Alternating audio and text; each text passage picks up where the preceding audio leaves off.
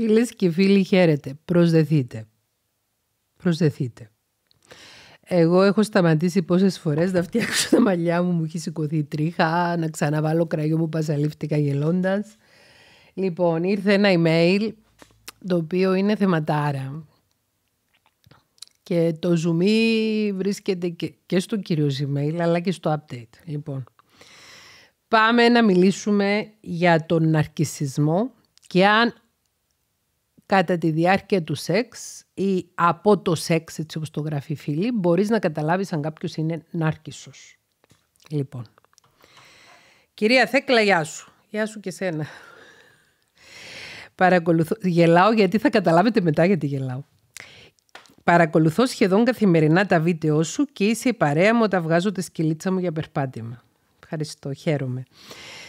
Σκέφτηκα πολύ αν θα σου στείλω αυτό το γράμμα και επειδή και επειδή ξέρω πως έχεις πολλά να διαβάσεις, αλλά και επειδή ίσως ντρέπομαι να μιλήσω ανοιχτά για το σεξ. Πρέπει να πάψουμε επιτέλους να ντρεπόμαστε να μιλήσουμε ανοιχτά για το σεξ, γιατί και το σεξ είναι μέρος της ζωής μας. Είτε μιλάμε γι' αυτό, είτε όχι. Και καλύτερα να μιλάμε γι' αυτό, για να μάθουμε πράγματα γύρω από το σεξ και να λειτουργούμε και σε αυτή την πτυχή της ζωής μας με ενσυνειδητότητα, αυτεπίγνωση, και συναισθηματική νοημοσύνη. Υψηλή δηλαδή.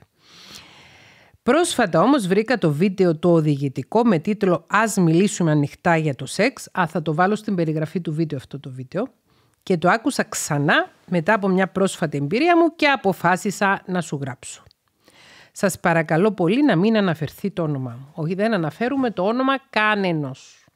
Ούτε στην κάμερα, ούτε έξω από την κάμερα. Ό,τι μου στέλνετε είναι εμπιστευτικό. Λοιπόν, είμαι μια γυναίκα 54 ετών με καλή φυσική κατάσταση και καλή σωματική υγεία. Εν μεταξύ μου έστειλε και φωτογραφία της φίλη. Η φίλη όντως φαίνεται πολύ ωραία, πολύ ωραίος άνθρωπος. Πολύ ωραίος άνθρωπος και φαίνεται και από το χαμόγελο της, από τη φωτογραφία ότι είναι ένας άνθρωπος ο οποίος έχει και όμορφη ψυχή. Γιατί είπαμε όλοι είμαστε όμορφοι, αλλά άμα είναι όμορφη ψυχή μας φαινόμαστε ακόμη πιο όμορφοι. Είμαι μια γυναίκα 54 ετών με καλή φυσική κατάσταση και καλή σωματική υγεία. Για ψυχική δεν ξέρω. Ακούγοντας τα βίντεο σου νομίζω πως είμαι σχεδόν σίγουρη πως το γάμο μου υπήρξα συνεξαρτώμενη. Καθώς και σε μια σχέση που έγινε καπάκι μετά το γάμο μου. Παντρεύτηκα στα 31 και χώρισα πριν 6 χρόνια μετά που η κόρη μου πήρε το δρόμο της.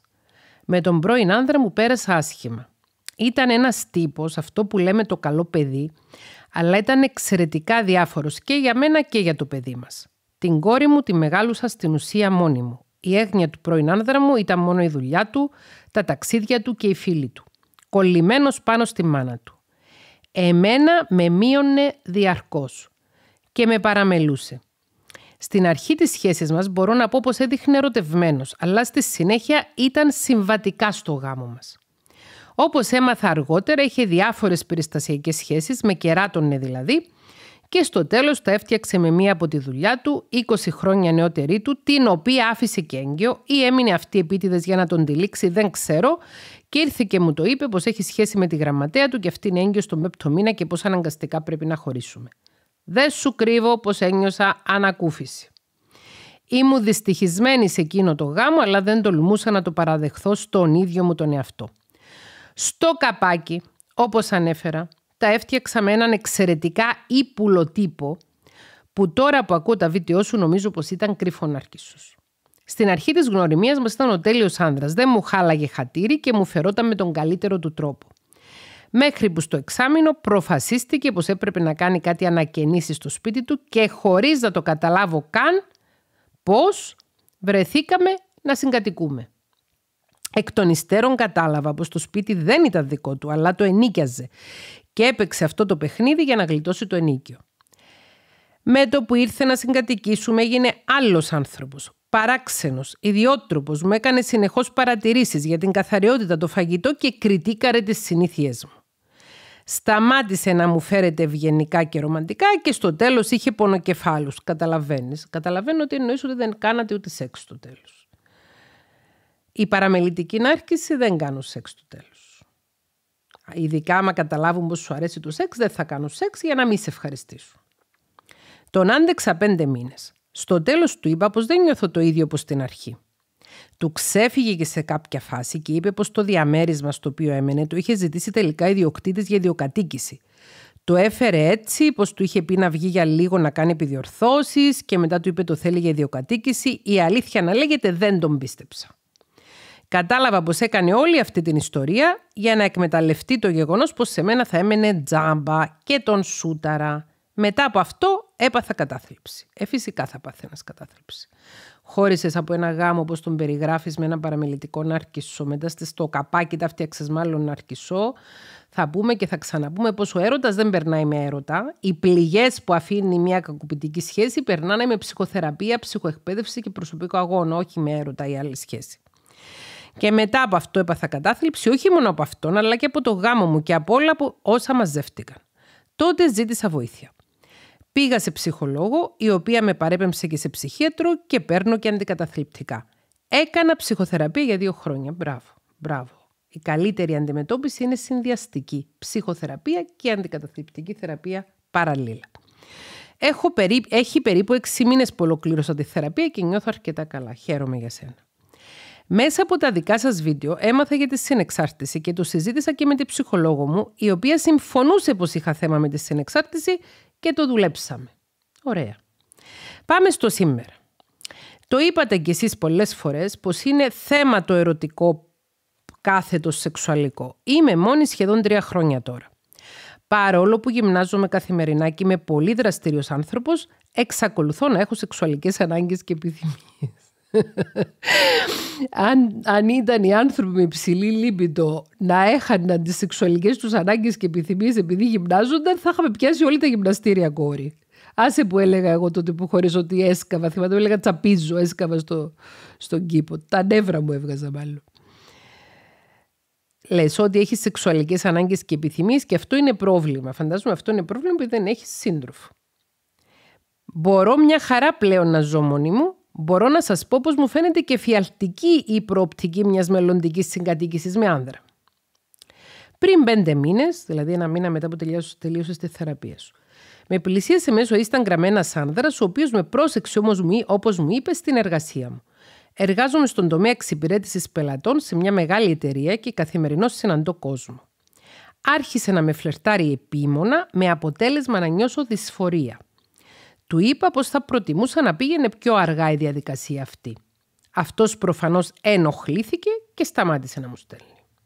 Είπαμε ότι όταν κάποιος θέλει κάτι να πάρει από εμάς και εμείς δεν του το δίνουμε και δεν ενδιαφέρεται ουσιαστικά για μας, θα σταματήσει άμα δεν του δώσουμε αυτό που θέλει να πάρει. Στην περίπτωση αυτή, αυτός ίσως ήθελε να τα φτιάξετε, δεν ξέρω. Πριν δύο εβδομάδες σκεφτόμουν πως η κατάσταση δεν πάει άλλο με το σεξουαλικό και πως έχω ανάγκη να κάνω κάτι να εκτονωθώ στο τέλος της ημέρας.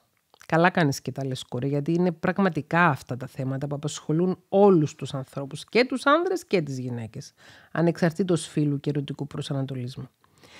Σας λέω την αλήθεια. Αυτός ήταν ο βασικός λόγος που είπα να του δώσω μια ευκαιρία, επειδή είναι αρκετά εμφανίσιμος άνδρας και ελκυστικός.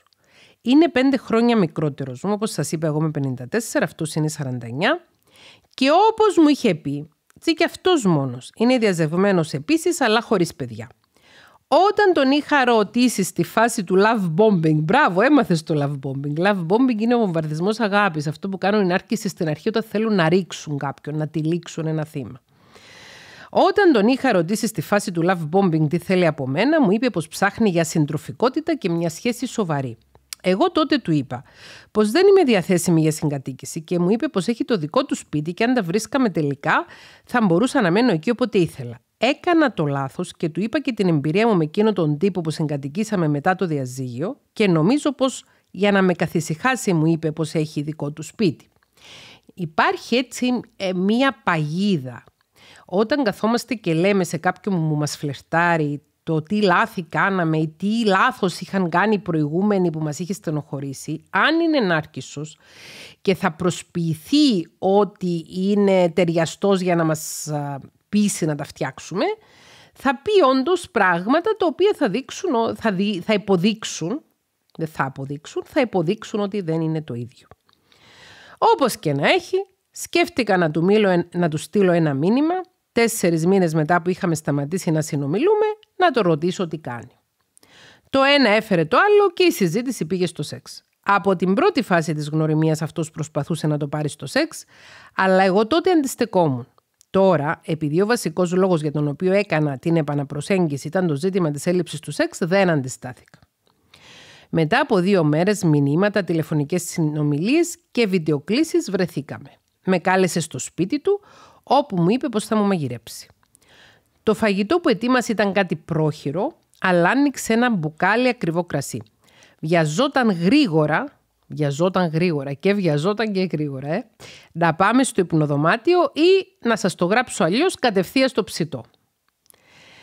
Εγώ του είπα πως ήθελα να πάρω το χρόνο μου επειδή είχε καιρό να... Αυτός έκανε και καλά πως με καταλαβαίνει, αλλά συνέχισε να προσπαθεί να με φιλήσει, να με αγκαλιάσει κτλ. Να μην σας τα πολυλογώ, πήγαμε στο πνοδωμάτιο. Ήταν ήδη προετοιμασμένο, με χαμηλό φωτισμό και αναμένει τη θέρμανση ενώ δεν είχε τόσο κρύο. Το ρώτησα γιατί είχε αναμένο το καλοριφέρ και μου απάντησε πως του αρέσει να είναι ζεστά. Κάπου πάει το μυαλό μου εμένα. Κάπου πάει το μυαλό μου εμένα γιατί είχε τη θέρμανση.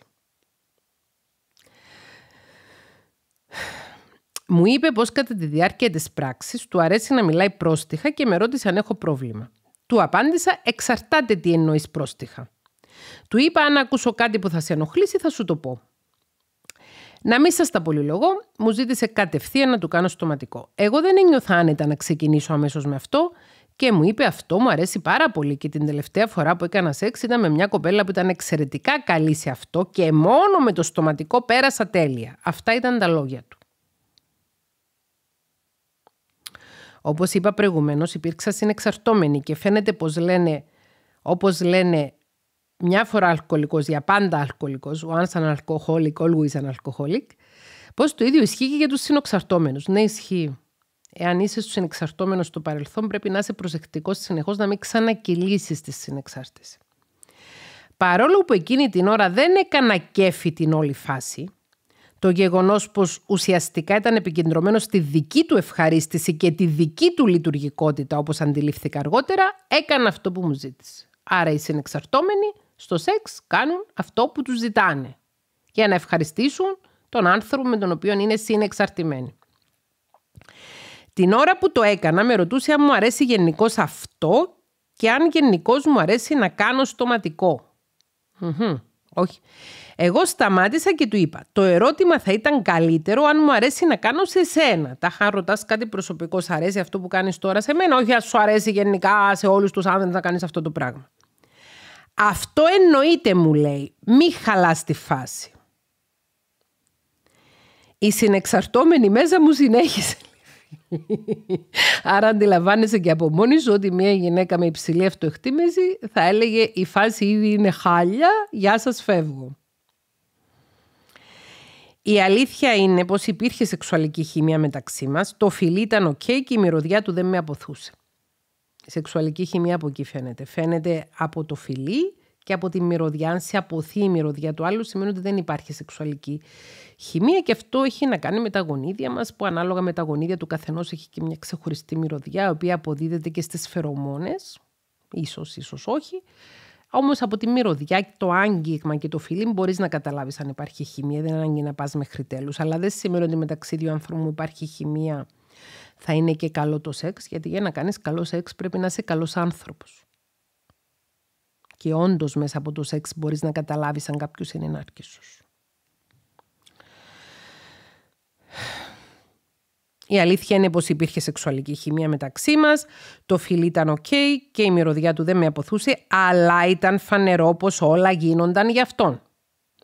Στη συνέχεια με ρώτησε ποια στάση μου αρέσει, του είπα, αλλά αυτός έκανε αυτή που άρεσε στον ίδιο.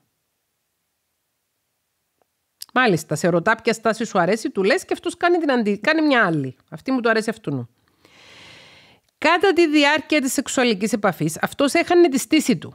Όταν την έχανε, μου ζητούσε να του κάνω ξανά στοματικό. Και εδώ θα πω ότι γι' αυτό είχε αναμένει τη θέρμανση.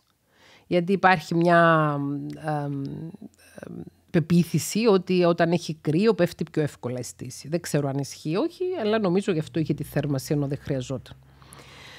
Σε κάποιο σημείο εγώ ήρθα σε οργασμό και ήταν έντονο το αίσθημα. αυτός αποσυντονίστηκε και μου είπε μη σταματάς, εγώ ακόμη να τελειώσω. Sorry.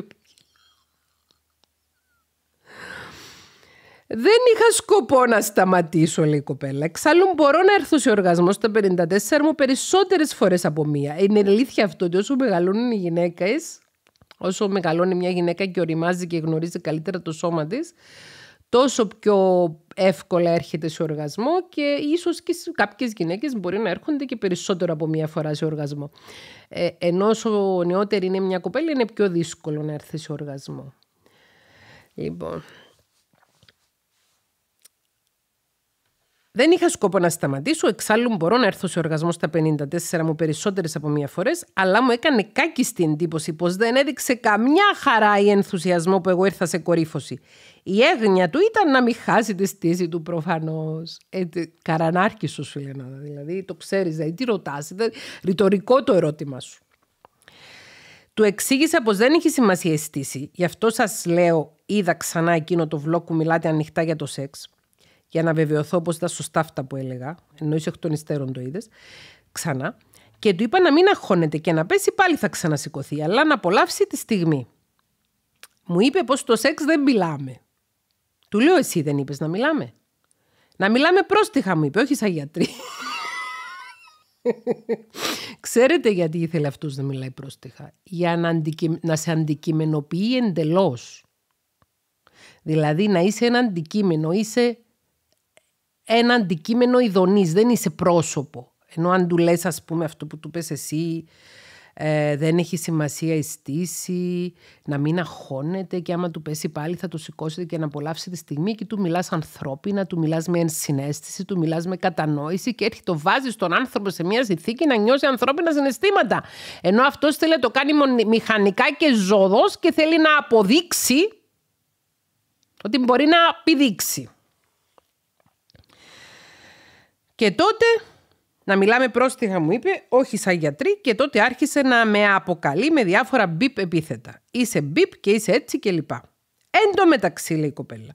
Μου είχε τύχει ξανά στο παρελθόν ένας σύντροφος να με αποκαλέσει έτσι κατά τη διάρκεια της πράξης, αλλά έλεγε είσαι η δική μου μπιπ. Μόνο μαζί μου να είσαι μπιπ. Καταλαβαίνετε η λέξη μπιπ. Ποια λέξη είναι.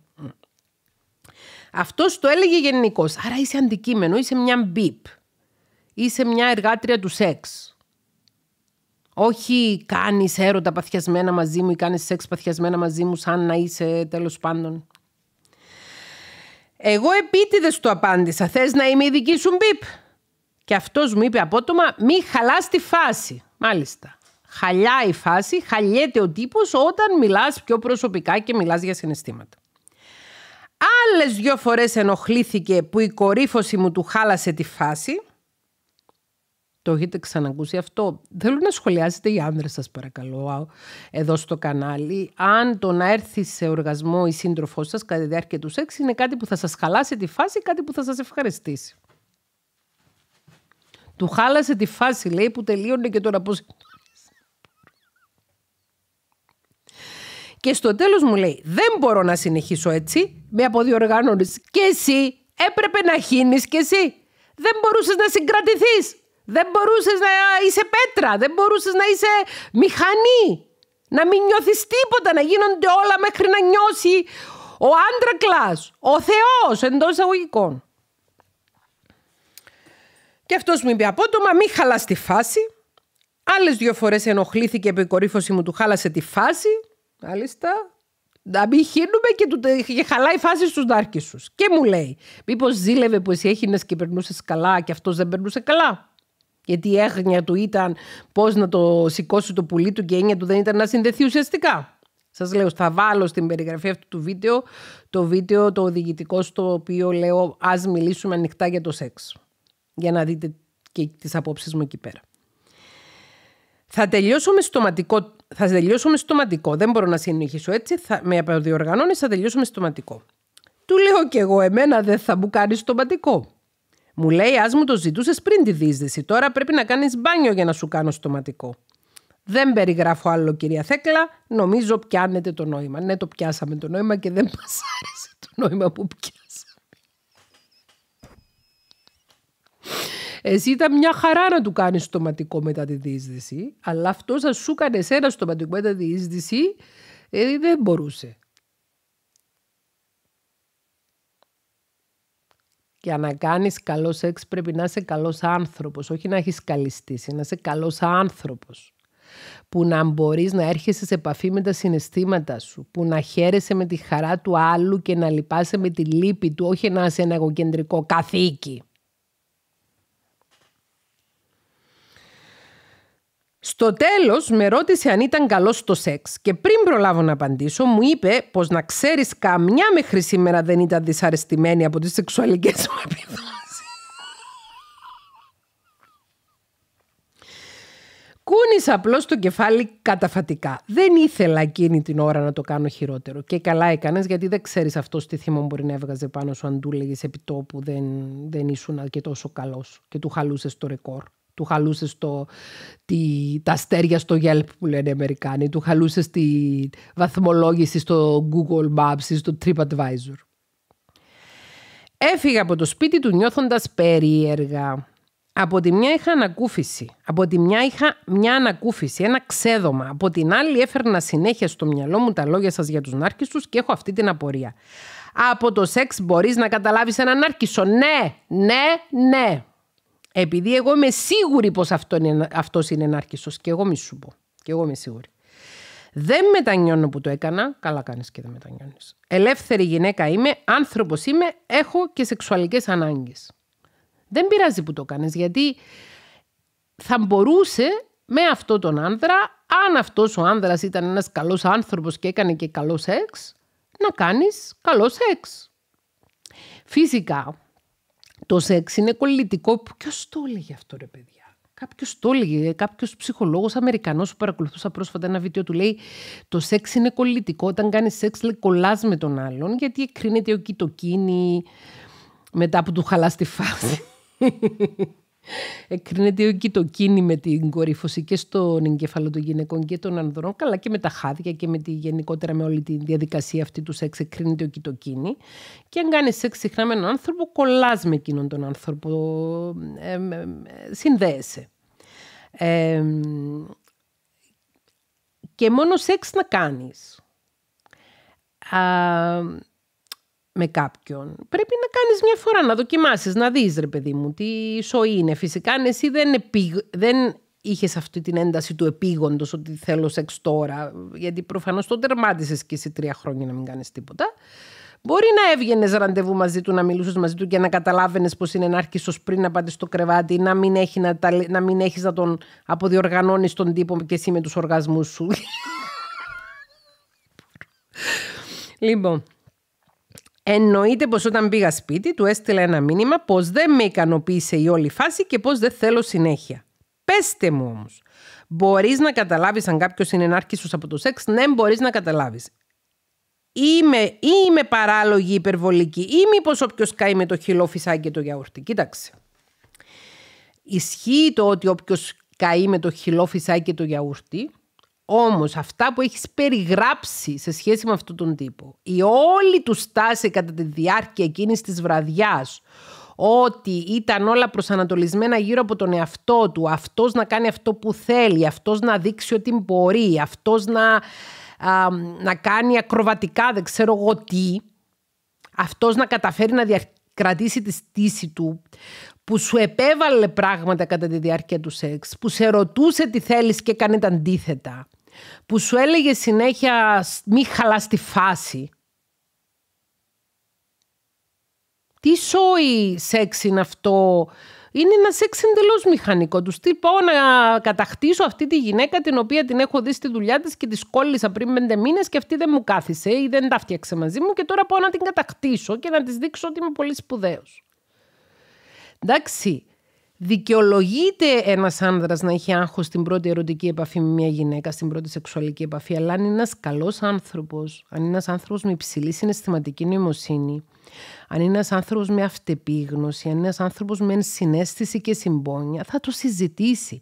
Θα μιλήσει για τη δυσκολία του και θα ακούσει με ανακούφιση λόγια όπως αυτά που του είπε η κοπέλα. Θα της πει δεν θα μιλάμε σαν γιατρού εδώ πέρα και θα σου λέω μόνο προστιχόλογια και θα σου λέω είσαι εμπίπ ή ξεμπίπ και δεν ξέρω εγώ τι άλλο. Ξαναλέω ότι αν σε ένα ζευγάρι υπάρχει αγάπη, συνδεσιμότητα και τη βρίσκουν, μπορεί να χρησιμοποιήσουν και λόγια κατά τη διάρκεια της σεξουαλικής επαφής. Δεν, δεν είμαστε πουριτανοί, αλλά ο τρόπος με τον οποίο τα χρησιμοποιούσε αυτός έδειχνα μια καθαρή αντικειμενοποίηση της κοπέλας. Δηλαδή, εσύ είσαι κάτι τέτοιο και εγώ πηδάω αυτό το κάτι τέτοιο. Όχι εμείς οι δύο συνδυόμαστε καθιονδήποτε τρόπο. Λοιπόν, έχει και update. Θέκλα μου δεν το πιστεύω. Προχθές σου στείλα το mail, σήμερα έπαθα την πλάκα μου. Πριν λίγο είχα κλείσει στο κινητό μου από εκείνο τον τύπο που σου έγραψα στο mail. Δηλαδή τον τύπο με τον οποίο έκανε τον αρκισιστικό σεξ, να το πούμε έτσι. Το απάντησα από περιέργεια. Και εγώ θα το απαντούσα στη θέση σου. Θα ήμουν πολύ περίεργη να δω τι έχει να μου πει. Ήμουν εξαιρετικά περίεργη τι είχε να μου πει. Με τίποτα δεν περίμενα το να ακούσω γυναικεία φωνή. Ήταν μια κοπέλα στο τηλέφωνο η οποία με ρώτησε τι σχέση έχω εγώ με αυτόν επειδή δεν πώς ανταλλάξαμε κάτι κλήσεις πριν δύο μέρες. Έμεινα κάγκελο.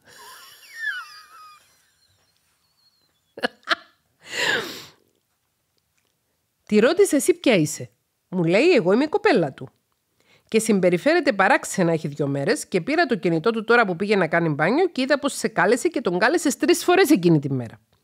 Μου φάνηκε παράξενο να καλέσει τρεις φορές σε νούμερο που δεν έχει καταχωρημένο και επειδή έχει δύο μέρες που είναι κακόκεφος και βγάζει νεύρα και δεν θέλει να κάνουμε σεξ, έψαξα το κινητό του να δω μη με απατά. Τον κατάστρεψες. Ούτε με τη φιλεδά του δεν θέλει να κάνει σεξ τώρα. Δεν γελάω για την κοπέλα, γελάω για τον αυτό που του τιμωρήθηκε. Δεν πρόλαβα να της απαντήσω. Ακούστηκε η φωνή του νευριασμένη και της πήρε το τηλέφωνο από τα χέρια προφανώς και το έκλεισε. Δεν θέλω να ξέρω τι συνέβη και μετά. Ούτε εγώ. Ελπίζω να μην τη χτύπησε την κοπέλα και ελπίζω η κοπέλα να μην αποδέχθηκε βία. Και είναι λυπηρό να μπαίνει στη διαδικασία να ψάχνεις το κινητό του συντρόφου σου για να καταλάβεις τι έγινε. Είναι πολύ λυπηρό. Να έχεις ένα σύντροφο που σε απατάει, να έχεις ένα σύντροφο ο οποίος δεν είναι ανοιχτός και ειλικρινής μαζί σου, να έχεις έναν άρκισο για σύντροφο και να μπαίνεις στη διαδικασία να ψάχνεις τηλέφωνα. Πραγματικά θεωρώ ότι αν νιώσουμε την ανάγκη να ψάξουμε το τηλέφωνο του ανθρώπου που έχουμε δίπλα μας, να σκεφτούμε σοβαρά μήπως δεν θα έπρεπε να είχαμε αυτόν τον άνθρωπο δίπλα μας. Εγώ, λέει φίλη, θα της έλεγα να το ρωτήσεις εσύ ποια είμαι, να σου πει. Δεν θα της έλεγα ότι την απάντησε. Καλά θα έκανες. Δεν είναι καλή ιδέα να γινόμαστε κατίνε. Ποια είσαι εσύ, ε, νομίζω να ρωτήσεις τον σύντροφο σου ποια είμαι. Ε, σου δίνω ότι το όνομα μου είναι αυτό, ας πούμε, ή να μην πεις καν το όνομά σου.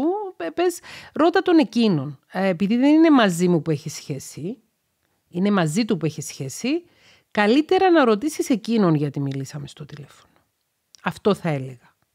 Το οποίο είναι αρκετά ξεκάθαρο, όσο και αν είναι κρυπτικό, όταν σου λέει μια γυναίκα, επειδή δεν είναι μαζί μου που έχει σχέση, είναι με τον σύντροφο σου που έχει σχέση, καλύτερα να ρωτήσεις τον σύντροφο σου γιατί μιλήσαμε στο τηλέφωνο, σου λέει εμέσως πλην σαφώς ότι δεν είναι δική μου δουλειά να σου πω ότι ο σύντροφος σου σε απατάει, είναι δική του δουλειά να παραδεχθεί ότι σε απατάει. Αλλά μάλλον με αυτό το τηλεφώνημα πήρα την απάντηση στο ερώτημα που σου έκανα αν είναι νάρκισσος. Αν θέλεις όμως κάνε το βίντεο να γελάσουμε λίγο. Σε ευχαριστώ που μας ανοίγεις τα μάτια. Φίλια, το σε γελάς. λοιπόν, αγωνιστικούς χαιρετισμούς στη φιλενάδα που στείλε το email, αγωνιστικούς χαιρετισμούς στη φιλενάδα του που έφτασε στο λυπηρό σημείο να ψάξει το κινητό του, αν ακούς αυτό το βίντεο φύγε, φύγε να σωθείς και κάνε ψυχοθεραπεία για να ενδυναμωθείς και να μην χρειάζεται να είσαι κολλημένη πάνω σε ένα μαλάκα ο οποίος σου φέρεται άσχημα και βγάζει νεύρα πάνω σου και φτάνει στο σημείο να κοιτάξει το κινητό του. Πραγματικά είμαι εναντίον του να κοιτάζουμε κινητά. Όχι γιατί ε, πρέπει να αφήνουμε το ελεύθερο στο σύντροφό μας ή στη σύντροφό μας να μας απατάνε. Καμία σχέση. Θεωρώ ότι για να φτάσεις στο σημείο να θέλεις να ψάξεις ένα κινητό, σημαίνει ότι κάτι πάει χ. και σημαίνει ότι ως δεν εμπιστεύεσαι τον σύντροφο σου ή τη σύντροφο σου αν θα το ρωτήσεις για κάτι να σου πει την αλήθεια. Τώρα, αν είναι ένα πρόσωπο το οποίο έχει παθολογική ζήλια, Πάλι δεν είναι καλή ιδέα να κοιτάει κινητά και καλή ιδέα είναι να πάει σε ένα ψυχολόγο να κάνει ψυχοθεραπεία και χρειαστεί να πάει και σε ψυχίατρο να πάρει και την αγωγή, να γίνει και διάγνωση για το τι ακριβώς έχει και να πάρει και αγωγή για να ξεπεράσει το πρόβλημα της παθολογικής ζήλιας. Όμως η κοπέλα αυτού του τύπου δεν είναι παθολογική ζήλια που είχε. Την αλήθεια κατάλαβε ότι αυτός κάτι έκανε και χαλάστηκε. Προφανώς χαλάστηκε ο εγωισμός του και από το γεγονός ότι η φίλη που στείλε το email είχε το θράσος να έρχεται σε οργασμό να του χαλάει τη φάση; Τι άλλο θα ακούσουμε πλέον; Και επειδή στο τέλος του στείλε ένα μήνυμα που στην ουσία του έλεγε του δώσε άκυρο. Και δεν έχει χειρότερο θυμό από τον ε, Νάρκισο ο οποίος τρώει άγκυρο. Ο εγωισμός του πλήττεται θανάσιμα και γίνεται σχρότατος. Είναι η χειρότερη φάση του νάρκη σου να του πληγώσεις τον εγωισμό του. Γι' αυτό τον λόγο πολλές φορές λέω δεν είναι ανάγκη να εκδικηθούμε έναν νάρκισο. Να φύγουμε, να γλιτώσουμε. Γιατί μπορεί μέσα στο, είναι, στον οργή αυτή την αρκισιστική που θα βγάλει από ένα τραυματισμένο ναρκισιστικό εγώ να φτάσει σε, σε, σε, σε ψηλές μορφές βίας. Δεν υπάρχει λόγος να το διακινδυνεύουμε. Είναι επικίνδυνη τύπη η νάρκηση. Είναι επικίνδυνοι για να συνδεόμαστε μαζί τους. Είναι επικίνδυνοι για να μοιραζόμαστε τη ζωή μας μαζί τους. Είναι επικίνδυνοι για να κάνουμε σεξ μαζί τους. Δεν είναι υγιείς προσωπικότητες. Είναι προβληματικές προσωπικότητες. Δεν είναι normal προσωπικότητες, θα έλεγα. Λοιπόν, για τον αρκισισμό υπάρχει ένα ολόκληρο playlist στο κανάλι μας. Παρακολουθήστε το όσοι βλέπετε αυτό το βίντεο για πρώτη φορά. Αν σας άρεσε αυτό το βίντεο, πατήστε το κουμπί για εγγραφή και το καμπανάκι για να σας έρχονται ειδοποιήσεις. Πατήστε και ένα like στο βίντεο, βοηθάει να ανεβαίνει το κανάλι μας στο YouTube, να ανεβαίνει ο αλγόριθμος που προτείνει τα βίντεο μας στο YouTube, γιατί όσοι περισσότεροι άνθρωποι ψυχοεκπαιδευτούν και όσοι περισσότεροι άνθρωποι μάθουν για τις δυναμικές των σχέσεων και αποκτήσουν γνώ, γνώσεις χρήσιμες, θα μπορέσουν να προστατέψουν εαυτούς και αλλήλους από αχρίαστη κακοποίηση. Ναι, είναι ένα πρόβλημα στις ενήλικες σχέσεις η έλλειψη σεξ και η έλλειψη καλών ανθρώπων για να κάνουμε σεξ μαζί τους. Θα το ξαναπώ ότι ένας καλός άνθρωπος κάνει και κακό σεξ. Ένας κακός άνθρωπος κάνει κακό σεξ. Τώρα κάποιοι θα πούν, μα τι μας λες, δεν είσαι εσύ που μας είπες ότι στη ψυχοπαθολογική έλξη είναι καλό το σεξ στη ψυχοπαθολογική έλξη, σε μια προβληματική τραυματική σχέση, είναι καλό το σεξ με έναν τρόπο άρρωστο, παθολογικό, όχι υγιή. Πολλές φορές ακούω από ανθρώπους οι οποίοι βρίσκονται μέσα σε προβληματικές κακοποιητικές σχέσεις ότι γιατί τον θέλω τόσο πολύ, γιατί λυσάω τόσο πολύ να είμαι μαζί της αφού ούτε καν το σεξ δεν είναι καλό. Και υπάρχουν και διάφορες άλλες συνθήκες επίσης που έχουν να κάνουν με ζητήματα ψυχικά ανεπίλητα, άλυτα, που μπορεί κάποιος να ελκύεται από κάτι που δεν τον ευχαριστεί. Βλέπε συνεξάρτηση. Η κοπέλα πάρα πολύ ωραία μας είπε μέσα στο email της «Η συνεξάρτηση μου συνέχισε με το στοματικό παρόλο που δεν ήθελα». Η συνεξαρτώμενη μέσα μου λέει «συνέχισε». Λοιπόν, θα κάνουμε και άλλα βίντεο για το σεξ. Ξέρω ότι σας έχω υποσχεθεί βίντεο για το σεξ, αλλά περιμένω να τελειώσω το βιβλίο ή τέλος πάντων να, να πάω στο κεφάλαιο εκείνου του βιβλίου που έχει να κάνει με το σεξ, ούτως ώστε να σας μεταφέρω γνώσεις πιο εμπεριστατωμένες και πιο συνολικές, παρά να σας μιλήσω τώρα έτσι χωρίς να έχω προετοιμαστεί. Λοιπόν, για όσους ε, δεν τα έχετε ακούσει ή δεν τα έχετε δει, τα επεισόδια στο podcast, Θέκλα Πετρίδου το podcast, που στο κανάλι μας εδώ στο YouTube μπορείτε να τα βρείτε στη στήλη που λέει podcast, είναι επεισόδια τα οποία είναι θεωρητικά και δίνουν πολύ μαζεμένη γνώση. Και το επεισόδιο για τον αρκισισμό είναι πάρα πολύ χρήσιμο. Στην περιγραφή αυτού του βίντεο θα βάλω το βίντεο «Ας μιλήσουμε ανοιχτά για το σεξ» που σας έχω πει. Θα βάλω και το βίντεο με το podcast για τον αρκισισμό και θα χαρώ στα βίντεο να διαβάσω δικές σας εμπειρίες οι οποίες να είναι σχετικές με αυτό το θέμα που συζητήσαμε σήμερα. Φιλιά σε όλους. Και να πω και κάτι, καλύτερα καθόλου σεξ παρά κακό σεξ με έναν άρκισο και καλά έκανε η φίλη που το έκανε αφού ήθελε να το κάνει και καλά έκανε που το έκανε με επίγνωση, με αυτεπίγνωση, το παρατήρησε μετά και πήρε τα μαθήματα που είχε ανάγκη να πάρει.